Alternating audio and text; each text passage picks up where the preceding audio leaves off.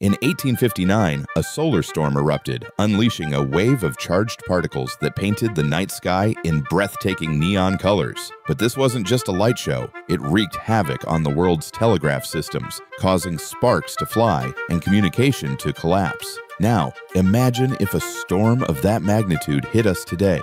With our reliance on technology, the consequences would be catastrophic. Power grids could fail, satellites might be knocked out, and the internet could go dark.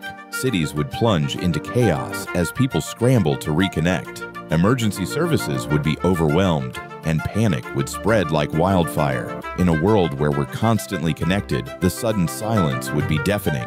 But amidst the chaos, there's a silver lining.